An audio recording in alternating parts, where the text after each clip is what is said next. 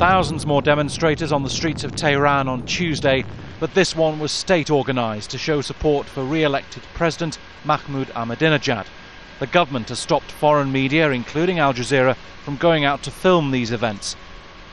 At the same time, in another part of the capital, there was a smaller protest against the outcome of the election.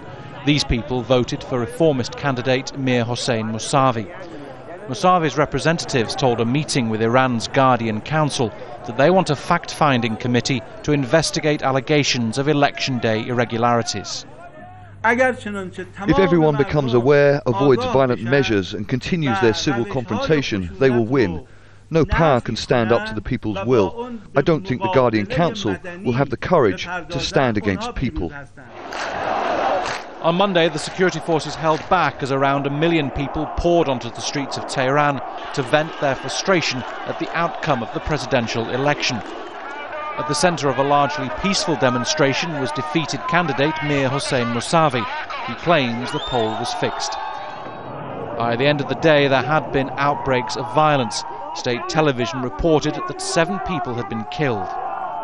What the people yesterday wanted, and what I hear all the time in the streets, is they want to get rid of Ahmadinejad because they believe that his majority was a fraud. But they're not against the regime, and people should be very careful, I think, before they start imagining that suddenly the Islamic Republic is now being contested by the people. Uh, the people, I think, are quite happy to have an Islamic Republic. They don't want the Shah back, they don't want to be run by Westerners, they don't want us telling them what to do. Meanwhile, President Mahmoud Ahmadinejad arrived in Russia on Tuesday for a regional summit.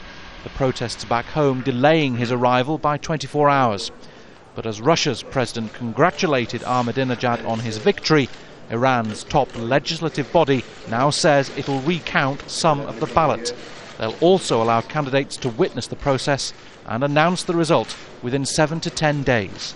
Bernard Smith, Al Jazeera.